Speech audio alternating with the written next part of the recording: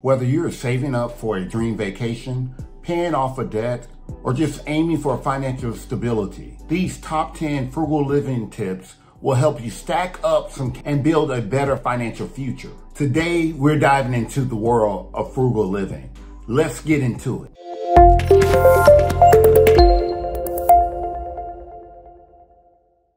Moneymakers, welcome to the channel where we make your money make sense. We're going to start off by embracing meal planning. I know many of you think, well, meal planning could be a bit laborious or possibly just something you don't want to do. But in order for you to capitalize off the savings, you must start meal planning. Not only does it save you from last minute grocery runs, it also reduces the food waste and helps you stick to your budget. Number two, master the art of bulk buying. If you're a person that lives by yourself, then maybe you would do a little less bulk buying but if you are a person with a family or two or more, you would definitely want to embrace bulk buying because it will reduce the overall spend over a little period of time. It will also slash your grocery bills. Look for those non-perishable goods such as rice, beans, pasta, and you'll watch your overall expenses go down significantly. Coming in at number three, do it yourself when possible. If you are anything like me, this probably will be a challenge because I am the least likely person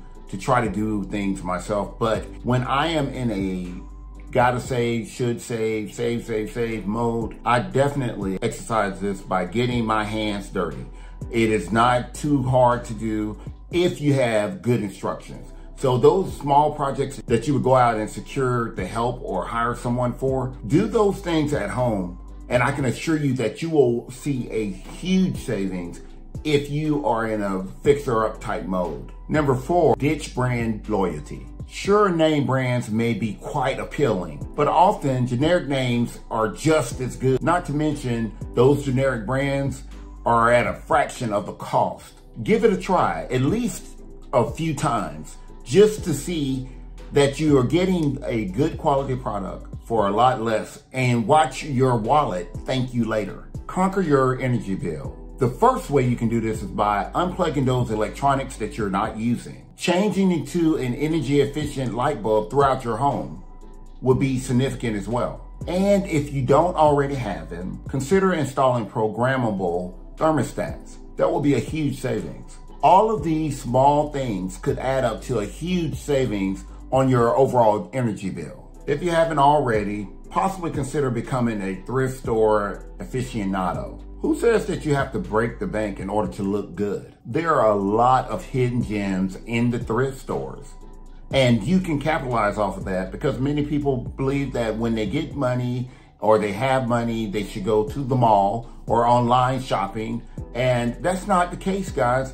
Many of the thrift stores have great quality clothing and most of them are gently used or new. I think you're missing out on a huge opportunity. So if you haven't already tapped into that market, do so. Check your local thrift store out. It will save you lots of money. Entertain frugally. Who says you have to break the bank in order to have a great time? Opt for free or low cost entertainment options in your area.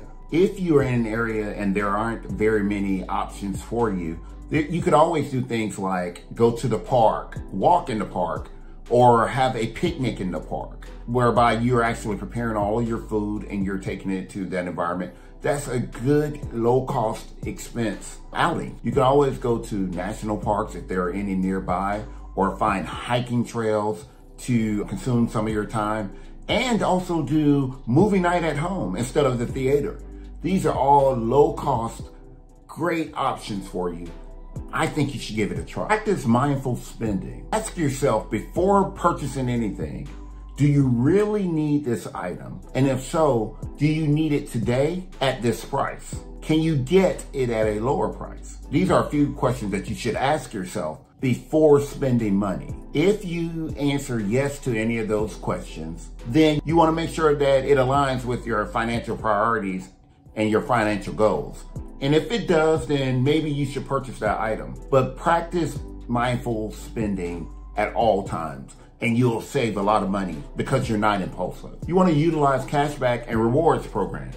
There are a lot of programs out there, guys, and you want to make sure that you sign up for all those programs, especially at places that you frequent often. Also, you want to look at the shopping apps, credit card apps, anything that you will use over a period of time and you use it frequently, definitely an opportunity for you to save or get some cash back. Lastly, don't forget the importance of making sure that you take time to invest in yourself whether it's through education, learning a new skill, improving your health, whatever it is, make sure that you're taking time to build yourself up. These investments can pay dividends in the long run.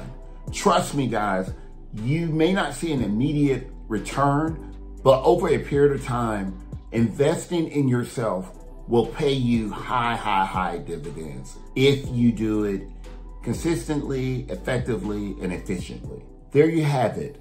10 different ways to supercharge your savings and pave the way to financial freedom. Which tip are you excited to try? Let me know in the comments below. Please like, share, and subscribe. Until next time.